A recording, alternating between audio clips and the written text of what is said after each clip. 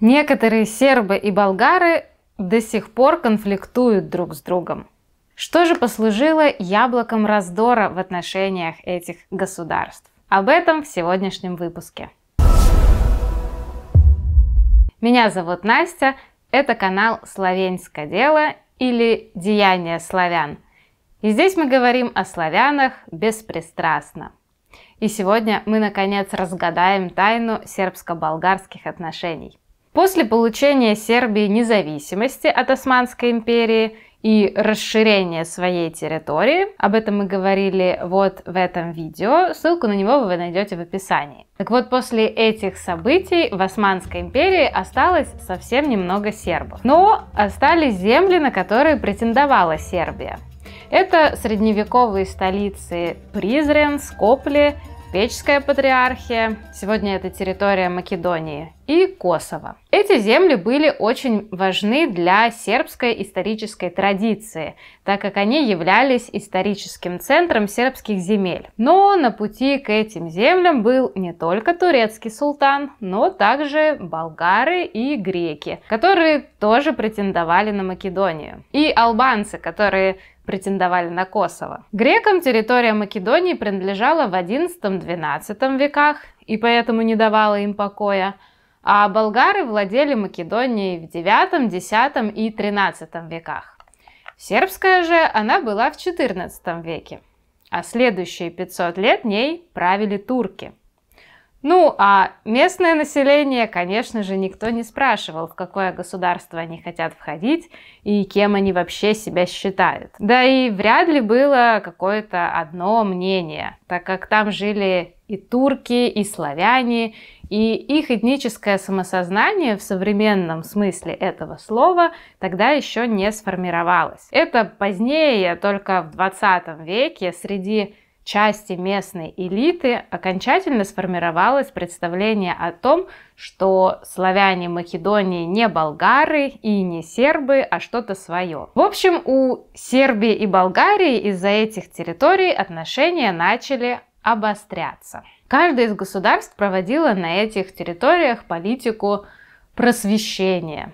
Они просвещали местное население о том, кем же они на самом деле являются. А противостояние Сербии и Болгарии все росло и росло. Что же касается Косово, то здесь сербского населения с 17 по 19 век становилось все меньше, а албанцев все больше. И когда албанцы поняли, что турецкое государство постепенно рушится, они начали выдвигать требования автономии в границах Османской империи или же создание собственного государства в случае ее распада. Но вернемся к сербско-болгарским отношениям. Опасаясь, что в их конфликт вмешаются великие державы, Сербия и Болгария решили договориться о разделе Македонии и отвоевать ее у турок. Тайно, при поддержке России, они сели за стол переговоров. В результате было признано, что есть бесспорно сербские и бесспорно болгарские районы. А оставшаяся спорной центральная часть должна была либо получить автономию, либо быть разделенной при арбитраже российского императора. Друзья, прежде чем мы продолжим, хотелось бы вам напомнить, что вы можете поддержать нашу деятельность на Патреоне или PayPal. Ссылку на них вы найдете в описании.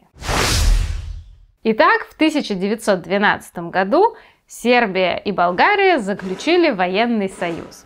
К ним также присоединились Греция и Черногория. Были достигнуты военные победы. В том числе Сербии удалось занять часть Албании. Однако в декабре 1912 года в Лондоне на конференции послов великих держав было провозглашено создание албанского государства, а Сербия под давлением этих великих держав должна была вывести войска из Албании. Сербия таким образом лишалась надежд на выход к морю путем присоединения Северной Албании. Сербские националистические круги призывали правительство компенсировать эту неудачу захватом максимально большей территории Македонии чтобы приблизиться к Егейскому морю. 1 июня 1913 года Сербия заключила договор с Грецией о разделе значительной части Македонии. Но, не дожидаясь российского арбитража, который предполагался по македонскому вопросу,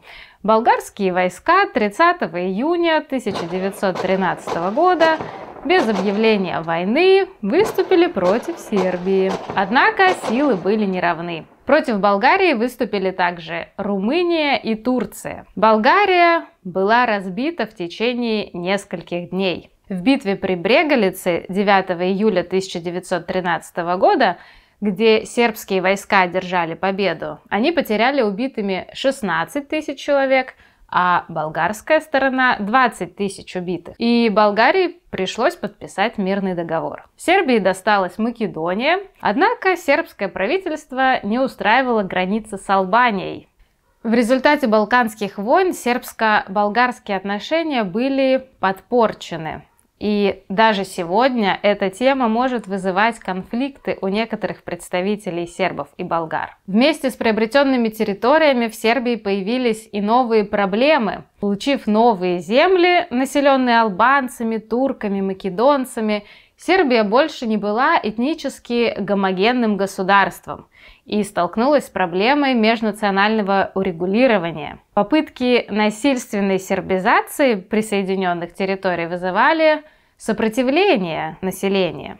Сербия вышла из войны в тяжелом финансовом кризисе, обремененная прежними долгами и обязательством выплаты своей части турецкого долга. Реорганизация и интегрирование вновь присоединенных территорий требовали существенных затрат.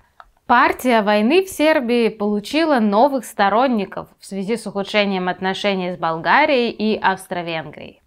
Националистическая военная организация «Объединение или смерть», действовавшая с 1911 года, настаивала на реванше с Австро-Венгрией в Боснии и Герцеговине. Всего год оставался до рокового выстрела в Сараево, знаменовавшего начало Первой мировой войны. Но это уже другая тема.